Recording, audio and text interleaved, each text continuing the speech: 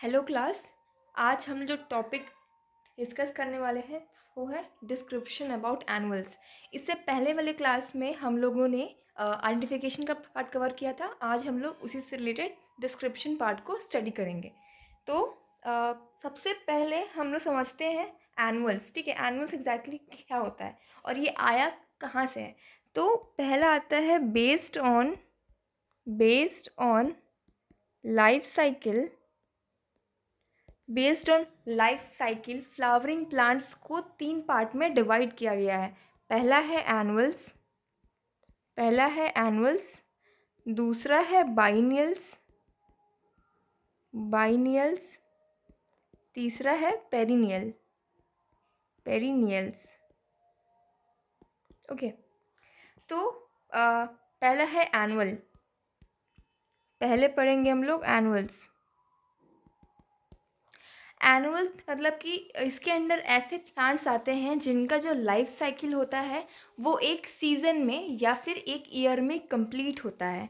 It completes its life cycle completes its life cycle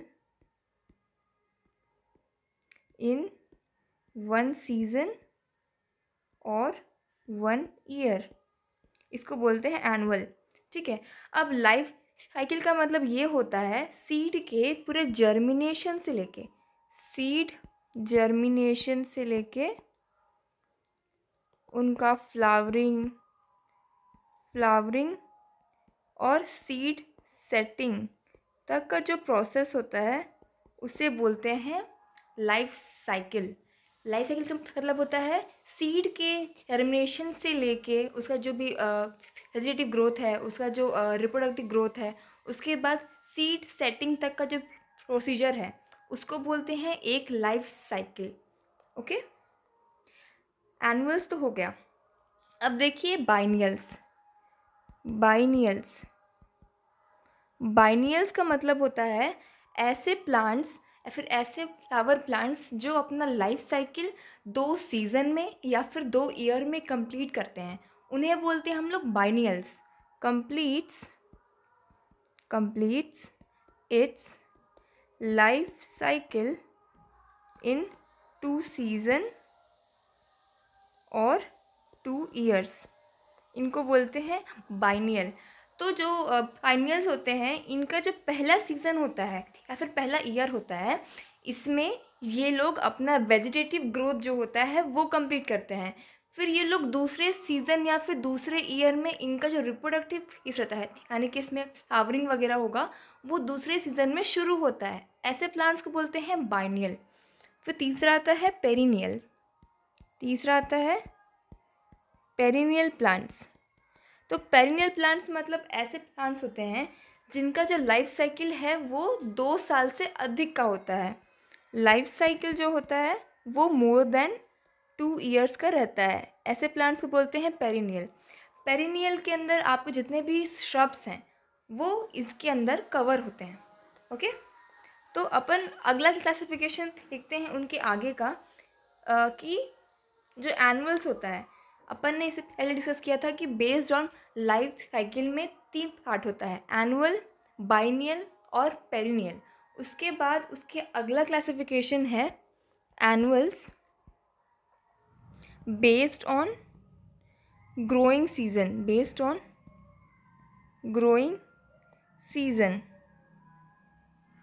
इसमें आता है सीज़न के बेसिस में जो एनुअल्स है, उनको डिवाइड किया गया है। पहला है विंटर एनुअल दूसरा है summer annual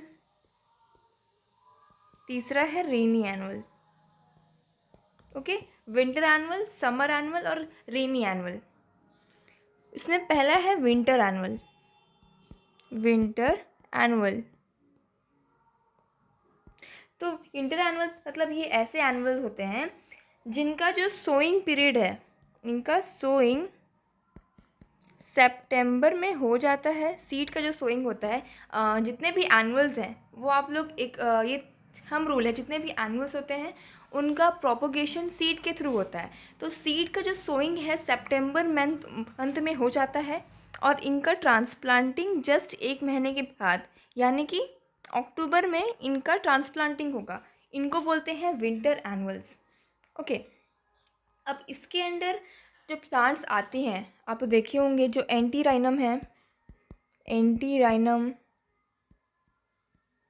China aster China aster, daisy.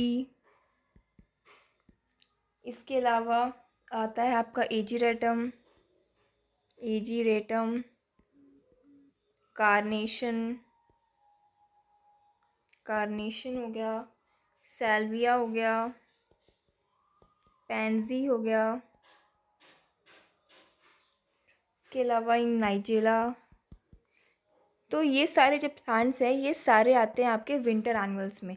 Winter flower का लिस्ट बहुत ही लंबा है, इसलिए इनका ट्रिक पॉसिबल नहीं है। मोस्टली जितने भी फ्लावर्स होते हैं, वो मोस्टली विंटर एनुअल्स में बहुत अधिक हैं फ्लावर की लिस्ट ओके तो ये विंटर एनुअल दूसरा एनुअल है समर एनुअल दूसरा एनुअल है समर एनुअल समर एनुअल में जो सीड्स होते हैं सीड का जो सोइंग होता है, वो होता है आपका फरवरी या फिर मार्च में। फरवरी या फिर मार्च के महीने में सीड का सोइंग करते हैं और सीड का जो ट्रांसप्लांटिंग होता है, ट्रांसप्लांटिंग जस्ट एक महीने बाद मार्च के एंड में या फिर अप्रैल में इनका ट्रांसप्लांटिंग हो जाता है। जितने भी सीड्स होते हैं, उनमें जर्मिनेशन एक हफ़्ते के अंदर आ जाती है। ओके? अब समर के अंदर इनके जितने भी फ्लावर्स हैं, वो मोस्टली आपके क्वेश्चन में आते हैं तो उसका एक ट्रिक है। उसका ट्रिक है जी को पो टी गी गो कु सु। ओके ये ट्रिक है। जी आई से आएगा जीनिया। जीनिया। के ओ से आएगा कोचिया। पोर्चुला का पी ओ से है। पोर्चुला का टी आई से है। Tithonia, T I T H O N I A, tithonia. G I से है गेलाडिया। गेलाडिया। जी ओ से है गोम्फिरीना। गोम्फिरीना। सी ओ से है कॉजमोस कॉजमोस और एस यू से है सनफ्लावर एस यू से है सनफ्लावर यहाँ पे जो सनफ्लावर की बात हो रही है, ये एनुअल सनफ्लावर है. ओके तो ये जितने आप लोग की लिस्ट है, ये आप लोग के एग्ज़ाम्स में क्वेश्चन आते हैं कि इनमें से कौन सा जो प्लांट है, वो समर एनुअल है या फिर कौन सा विंटर एनुअल है. तो आप लोगों को ये याद करना बहुत इंपॉर्टेंट है. ओके फिर अगला आता है रेनी एनुअल अगला आता है रेनी एनुअल्स। तो जो रेनी एनुअल है, रेनी एनुअल का जो सीड का सोइंग होता है सोइंग मई से जून तक हो जाता है। इनका ट्रांसप्लांटिंग है। ट्रांसप्लांटिंग भी एक महीने बाद, यानी कि जुलाई में हो जाता है। इसके अंदर जो जो प्लांट्स आते हैं, वो आता है ए, बी और सी। यानी कि एमेरेंथस एमेरेंथस बी से आएगा बालसम, सी से आएगा कॉक्सकॉम सी से आएगा कॉक्सकॉम्ब। ये सारे रेनी एनुअल्स हैं। ओके, इसके बाद जो एनुअल्स हैं, उनका स्पेसिफिक पर्पस होता है, ठीक है? तो जैसे कि इसमें और क्लासिफिकेशन है। क्लासिफिकेशन उनके फ़ोटो प्रियोडिज़म के केसेस में भी एनिमल्स को डिवाइड किया गया है। उनके फ़ोटो प्रियोडिज़म के बेसिस में फ़ोटो प्रियोड के बेसिस में उनको अलग अलग डिवाइड किया गया है। फ़ोटो प्रियोडिज़म का मतलब जो आ, कुछ प्लांट्स ऐसे होते हैं जिनका जो नीड है डे लेंथ का और, और हाइट लेंथ का उनका रिक्वायरमेंट अलग अलग होता है तो उसको बोलते हैं फ़ोटो प्रियोडिज़म ठीक है तो इसमें आता है पहले short day short day plant आएगा, दूसरे में आएगा लॉन्ग डे प्लांट और थर्ड में है डे न्यूट्रल डे न्यूट्रल तो एक एक करके हम लोग इसको डील आउट करेंगे। पहला है इसमें short day short day plant short day plant ऐसे प्लांट होते हैं जिनका जो जो डे लेंथ का रिक्वायरमेंट होता है वो सेवन टू एट आवर्स का होता है। इसको बोलते हैं शॉर्ट डे प्लांट। इनके अंदर जो प्लांट्स का लिस्ट है, आप लोग को वो एक बार ट्रिक आप लोग को मैं एक्सप्लेन कर देती हूँ। जितने भी प्लांट्स शॉर्ट डे के अंदर आते हैं, उनका ट्रिक है ए सी सी सिंथेटेस ये आप लोगों ने पढ़ा होगा एज अ प्री कर्सर आप लोग के फिजोलॉजी में। तो ए सी सी और एस ए से आएगा आपका एमरंथस एमरंथस सी से आएगा का, आपका क्राइसैंथमम क्राइसैंथमम ये बहुत इंपॉर्टेंट है। क्राइसैंथमम का एग्ज़ाम में मोस्टली क्वेश्चन पूछता है कि क्राइसैंथमम कौन सा फ़ोटो प्रोड्यूजम शो करता है। तो आप लोग टिक करेंगे, वो एक शॉर्ट डे है। ओके, और एक सी से आता है कॉस्मोस कॉस्मोस, और ये एस से आता है सेल्विया। ओके, दूसरा है लॉन्ग डे, दूसरा है लॉन्ग डे। लॉन्ग डे के लिए जो ट्रिक है आप लोग का, वो है A C P Rudra, A C P Rudra. तो इसमें ए सी पी और आर ए से आएगा आपका एंटी राइनम ए से आएगा आपका एंटी राइनम सी से आएगा कार्नेशन कार्नेशन एक लॉन्ग डे प्लांट है, इसको भी आप लोग टिक कर लेंगे, ये भी इंपॉर्टेंट है। ये टिक कर लेना। पी से आता है पी से आएगा पिट्यूनिया पिट्यूनिया भी एक लॉन्ग डे प्लांट है। उसके बाद आर से आएगा रड बेकिया। रड बेकिया। ये सारे आते हैं लॉन्ग डे प्लांट्स के अंदर। अगला है, जो तीसरा है डे न्यूट्रल डे न्यूट्रल इनका जो ट्रिक है, वो है गोवा में ग्रैंड इम्पीरियल जाना है। गोवा में ग्रैंड ग्रैंड इम्पीरियल जाना है। तो इसमें आता है जी फिर इसमें आएगा आई एम और इसमें आएगा हम्म, ये जी और आई एम। तो आपका होगा जी ओ से आएगा आपका गॉम्फिरीना और आई एम से आएगा आपका इम्पेशेंट इम्पेशेंट ये आपका डे न्यूट्रल प्लांट, ठीक है? इम्पेशेंट का मतलब होता है बालसम बालसम को बोलते हैं। ये डे न्यूट्रल प्लांट है, ओके? उसके बाद जो इसमें अगला क्लासिफिकेशन है, वो इनके हार्डीनेस के बेसिस में है। जो एनुअल्स है, इनका जो तीसरा क्लासिफिकेशन पढ़ेंगे अपन, वो इनके हार्डीनेस के बेसिस में है। हार्डीनेस एनुअल्स को उनके हार्डीनेस के बेसिस में तीन कैटेगरी में डिवाइड किया गया है। पहला है, एक होता है हार्डी दूसरा होता है हाफ़ हार्डी तीसरा है इसमें टेंडर तो जो हार्डी एनुअल्स हैं हार्डी एनुअल्स हार्डी एनिमल्स ऐसे एनिमल्स होते हैं, जिनको ग्रोथ और फ्लावरिंग के लिए कोई एडिशनल केयर की ज़रूरत नहीं पड़ती है। इनको ईजिली ओपन कंडीशन में ग्रो कर सकते हैं और इसमें कोई प्रॉब्लम नहीं होती। इनमें no need of aid in growth and flowering इनको easily can be grown can be grown easily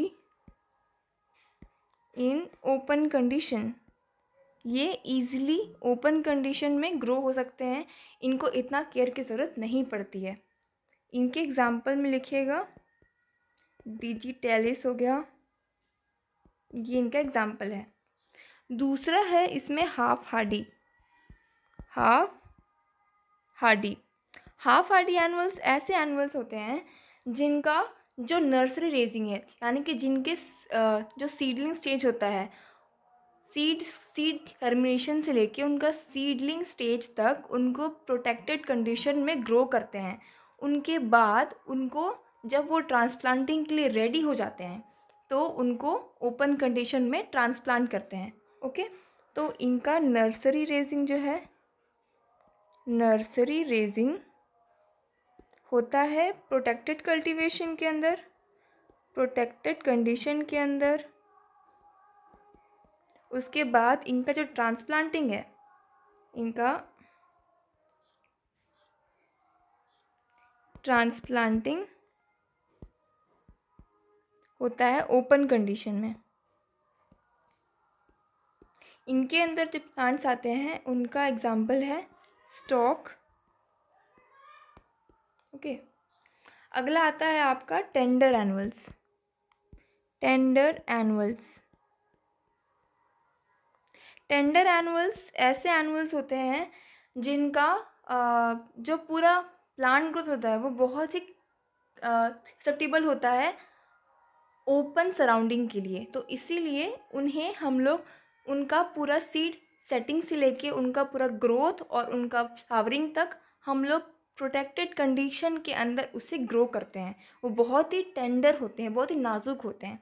ठीक है तो जितने एनिमल्स इनके अंडर आते हैं, उनका पूरा ग्रोथ और फ्लावरिंग प्रोटेक्टेड कंडीशन के अंदर होता है। प्रोटेक्टेड कंडीशन के अंदर होता है। इसके एग्ज़ाम्पल में लिखिएगा ऑक्जैलिस ऑक्जैलिस ठीक है? अगला जो है अगला प्लांट जो इसमें आप लोग को याद रखना है, वो है इनका मोड ऑफ़ पॉलिनेशन अगला क्लासिफिकेशन है इसमें मोड ऑफ़ पॉलिनेशन के बेसिस में। जो एनुअल्स हैं, उनको उनके मोड ऑफ़ पॉलिनेशन के बेसिस में फिर डिवाइड किया गया है। इसमें पहला है सेल्फ सेल्फ पॉलिनेटेड जितने भी एनुअल्स हैं, उनका नाम है कार्नेशन बालसम कार्नेशन बालसम और है सेल्विया। ये सारे हैं सेल्फ पॉलिनेटेड फिर अगला आता है क्रॉस। क्रॉस पॉलिनेटेड के अंदर जितने क्रॉप्स आते हैं, वो है पॉर्चुलाका पॉर्चुलाका, टैगेटस, यानी कि मैरीगोल्ड। टैगेटस मतलब होता है मैरीगोल्ड, एक है जीनिया। जीनिया और एक है कोरियोप्सिस। कोरियोप्सिस। कोरियोप्सिस की बहुत इंपॉर्टेंट वैरायटी आप लोगों को मैंने आइडेंटिफिकेशन में लिखवाया था, वो था पूसा तारा। ठीक है तो इंपॉर्टेंट है। उसके बाद फिर अगला आता है इसमें कॉस्मोस और एक है इसमें क्राइसैंथेमम क्राइसैंथेमम भी क्रॉस पॉलिनेटेड क्रॉप है। फिर अगला आता है इसमें often cross often cross pollinated तो ऑफन क्रॉस पॉलिनेटेड में इसमें five to thirty percent cross pollination होता है। उसको बोलते हैं ऑफन क्रॉस पॉलिनेटेड क्रॉप इसके अंदर जो क्रॉप आएँगे, वो है आपका पेट्यूनिया पेट्यूनिया और एक है पेंजी ठीक है? इसके बाद जो एनुअल्स है, उनका जो यूज़ है, वो स्पेसिफिक पर्पस के लिए यूज़ होता है। स्पेसिफिक पर्पस एनुअल्स का यूज़ कुछ स्पेसिफिक पर्पस के लिए यूज़ होता है। लाइक फॉर एग्ज़ाम्पल कुछ एनुअल्स होते हैं, उनको एज अ हैंगिंग बास्केट के लिए यूज़ करते हैं। हैंगिंग बास्केट हैंगिंग बास्केट का मतलब होता है, ये छोटे से पॉट प्लांट होते हैं जिनका जो ग्रोथ होता है वो एकदम वो विग्रस नहीं होता और उनकी हाइट ज़्यादा नहीं होती है, छोटी हाइट की होती है। ऐसे एनिमल्स को हम लोग हैंगिंग बास्केट में जिसको बोलते हैं, जो ऊपर लटका हुआ होता है, ये ऐसा स्ट्रक्चर रहता है और ऐसा उसमें टांगने का स्ट्रक्चर रहता है। इस, इसको बोलते हैं हैंगिंग बास्केट इसके अंदर जो प्लांट्स ग्रो होते हैं, वो बहुत ही छोटे हाइट के होते हैं। हैंगिंग बास्केट के अंदर आप लोग पॉर्चुलाका को ग्रो कर सकते हो। पॉर्चुलाका हो गया आपका पॉट मैरीगोल्ड हो गया, पॉट मैरीगोल्ड हो गया, पैंजी हो गया, पैंजी, पिट्यूनिया, ये सारे क्रॉप आप लोग हैंगिंग बास्केट में ग्रो कर सकते हैं। दूसरा पर्पस आता है इनका, जो है वो एनुअल शेड लविंग कुछ एनुअल्स होते हैं, वो एज अ शेड लविंग होते हैं। ये एग्ज़ाम में भी क्वेश्चन आता है, इसको आप लोग ध्यान से पढ़ेंगे। कुछ एनुअल्स जो कि शेड लविंग होते हैं, उनका एक ट्रिक है, जिसका है सी सा सी सा सी से आएगा सेनीरेरिया सेनीरेरिया और एस से आएगा सेल्विया ये दोनों जो प्लांट हैं, ये एनुअल शेड लविंग प्लांट्स हैं। दूसरा क्लासिफिकेशन है इसमें स्क्रीनिंग पर्पस के लिए। स्क्रीनिंग पर्पस ऐसे अब स्क्रीनिंग पर्पस के अंदर ऐसे आप लोग के एनिमल्स आएँगे जिनका जो ग्रोथ है और इनकी जो हाइट होती है वो बहुत ही लंबी होती है, ठीक है? इनकी हाइट ऑलमोस्ट आपका ninety to twenty one twenty centimetre long हो सकता है, और इनका जो ग्रोथ होता है वो विग्रस होता है, और ये बहुत हाइटेड होते हैं। तो स्क्रीनिंग का पर्पस होता है स्क्रीनिंग पर्पस का मतलब होता है, अगर आप लोग को आपके गार्डन में कोई ऐसा एरिया होता है जो आपको हाइड करके रखना है या फिर वो अच्छा नहीं दिख रहा है। तो उसके आगे आप लोग ऐसी चीज़ों को आप रखना पसंद करेंगे जो उस चीज़ को या फिर उस बैकग्राउंड को हाइड करके रखे। तो उस, उसके प्लेस पे हम लोग ऐसी चीज़ों को ग्रो करते हैं जो बैकग्राउंड को हाइड करे, उसी में हम लोग प्लांट्स का यूज़ करते हैं। लाइक फॉर एग्ज़ाम्पल अगर आप लोग का ये वाला एरिया है, ठीक है, इस वाले एरिया में इधर पूरा आपका वेस्ट मटेरियल रखा हुआ है। और ये आप लोग का अच्छा सा कोई सा गार्डन है। अगर आप लोग को ये एरिया को हाइड करना है या फिर आपको प्राइवेसी मेंटेन करना है तो आप लोग इस इस वाले एरिया के आगे आप लोग लंबे लंबे प्लांट्स लगाएँगे या फिर ऐसी चीज़ों को ग्रो करेंगे जो कि बहुत हाइटेड हो और पीछे का बैकग्राउंड को हाइड करे। तो इस वाले चीज़ के लिए जो अपन प्लांट यूज़ करते हैं, उसको बोलते हैं हाइटेड प्लांट या फिर स्क्रीनिंग पर्पस प्लांट्स आ रहे समझ में?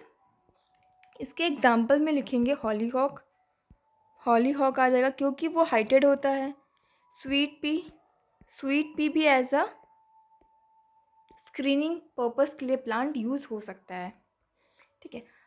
अगला इसमें जो जो इसमें क्राइटेरिया आता है वो है रॉकरी अगला आता है इसमें रॉकरी जो कुछ एनुअल्स हैं वो ऐसे रॉकरी के लिए भी यूज़ होते हैं। रॉकरी का मतलब होता है जब हम जो एनुअल्स हैं, उनको पत्थरों के बीच में जो गैप्स होता है, उसके बीच में जब अपन एनुअल्स को ग्रो करते हैं, वो जो इफ़ेक्ट होता है, वो जो वो जो टर्म है, उसके जो टर्म यूज़ करते हैं वो है रॉकरी। प्लांट्स इसमें आप लिख सकते हैं plants grown between the cracks और सर्वाइसिस ऑफ़ रॉक्स पत्थरों के बीच में या फिर उनके बीच का जो गैप है, उनमें जब हम लोग प्लांट्स को ग्रो करते हैं एनुअल प्लांट्स तो उनको बोलते हैं रॉकरी इनके एग्ज़ाम्पल में आप लोग लिखिएगा. वर्बीना वर्बीना ग्रो कर सकते हैं. इसमें हम लोग फ्लॉक्स ग्रो कर सकते हैं. इसमें हम लोग आइस प्लांट ग्रो कर सकते हैं. इसेक्ट्रा अगला क्लास अगला है टाइप इसमें कुछ ऐसे एनिमल्स होते हैं जिनको ऐसा हम लोग कट फ्लावर भी यूज़ कर सकते हैं कट फ्लावर तो अपन ने कल के आइडेंटिफिकेशन में देखा था पिछले क्लास का कि कुछ एनुअल्स होते हैं तो एज अ कट फ्लावर भी यूज़ करते हैं. तो इसके एग्जांपल में आएगा आपका एंटी राइनम एंटी राइनम हो गया स्टैटिस हो गया स्टॉक हो गया लाक्सपार हो गया। ये सब जो एग्ज़ाम्पल है, यहाँ पर कट फ्लावर के लिए यूज़ होता है। अच्छा जो कट फ्लावर होता है कट फ्लावर और लूज़ फ्लावर इन दोनों में ये डिफरेंस है कि कट फ्लावर में हम लोग उनके फ्लावर के साथ उनका स्टॉक भी यूज़ करते हैं। लेकिन जो लूज़ फ्लावर होता है, इसमें हम लोग सिर्फ़ उनका फ्लावर को ही यूज़ करते हैं। इसीलिए इसे लूज़ फ्लावर बोलते हैं और इस वजह से कट फ्लावर बोलते हैं। ओके अब जो लूज़ फ्लावर के लिए जो एनुअल्स यूज़ होता है, उनका लिस्ट है। ऐसे कि जीनिया हो गया मैरीगोल्ड हो गया,